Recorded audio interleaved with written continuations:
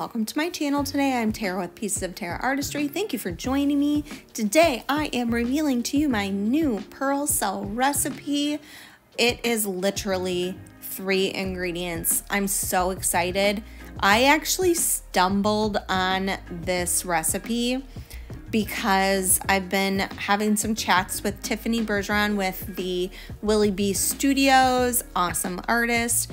And um, I've been trying to do these cloud pours and you know I've never done them and so I was using her recipe to try them and I this is the day that I tried them and it was a terrible pour.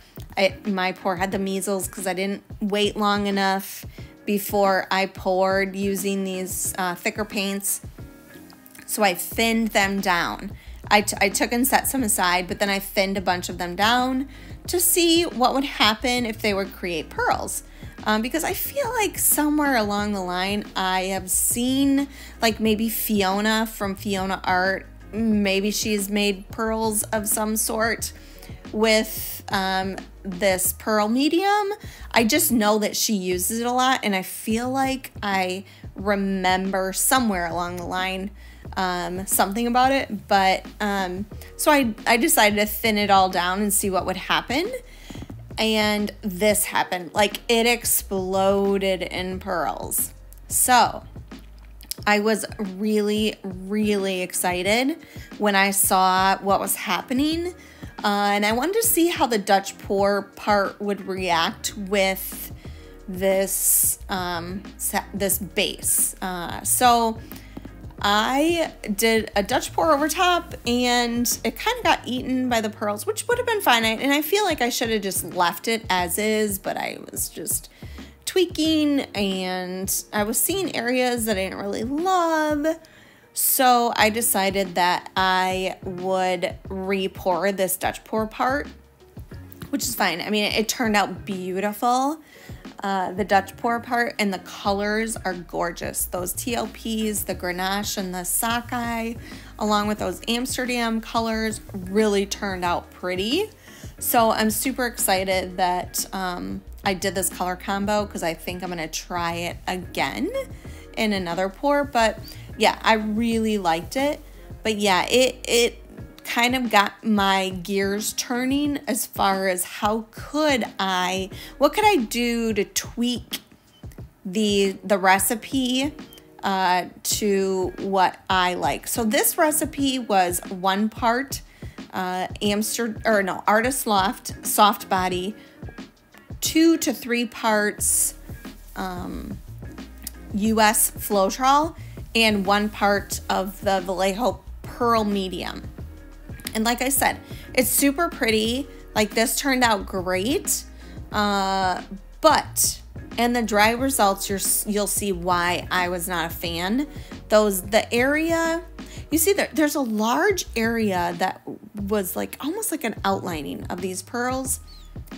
I wasn't a super fan of that. And then the area within the Dutch pour where the pearls started popping through, they were fuzzy and kind of yucky looking. And you'll see that in the dried results. So stick around to the end to see that. But yeah, I was not a super fan of how that turned out. So I started thinking like in my recipe now to slow down reaction of the apple barrel and the artist loft paints, I use the Liquitex titanium white. So I decided I would completely eliminate the Artist Loft, just try that Liquitex titanium white. And here it is. This is the recipe. Literally two to three parts US Floetrol, one part Vallejo Pearl Medium, and one part Liquitex titanium white. And it turned out so, so good. So you'll see that in the um, dried results but it, basically what it does is when you see me tilting, in the first one you see the reaction of that Artist Loft soft body is so fast and the pearls start popping through right away. Whereas in this, I was able to tilt in all directions before the pearls started popping through. And so I don't end up with wonky pearls, which I'm not a fan of wonky pearls if you watch me. Also, when I torched, I was so excited because it caused these other pearls to pop through, which I've never had before with other pearl cell recipes. So I thought that was super cool. Cool. So this is a technique that I will be teaching.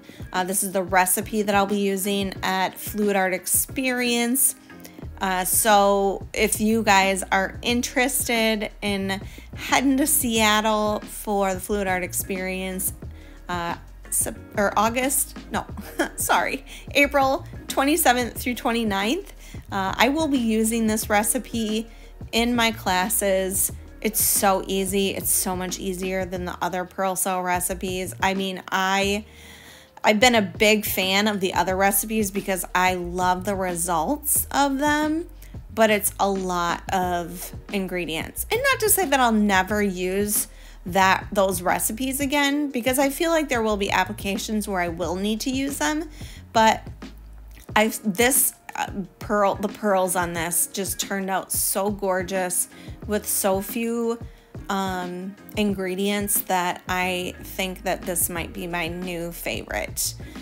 So I hope you guys like this. Uh, this I I actually was playing around with some thicker paints in my Dutch pour portion of my painting on this too, just to see how they would react uh, with, uh, to see if they would kind of keep the pearls from popping through a lot in the Dutch pour portion. And I think they turned out really well. Also, I laid a pigment down first.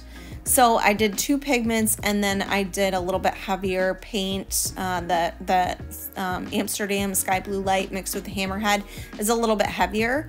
So I laid that on top um, and I feel like it kept the pearls from overtaking the Dutch pour portion because those pigments are very light. They kind of um, are the same density as the base paint so you don't get an overtaking of pearls.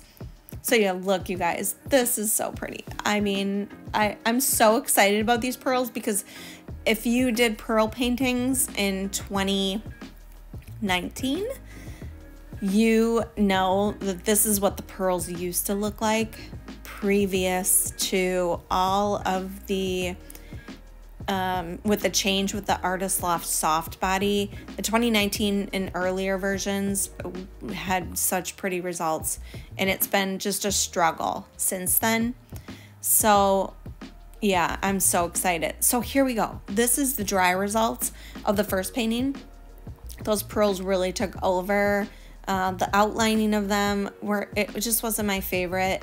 Uh, and then see in the Dutch pour portion how fuzzy and yucky those that white part is, which I mean it could be fixed, but I just I really just was not a fan of how that turned out but I changed it in this one to the titanium white by Liquitex and the pearls turned out so, so much better.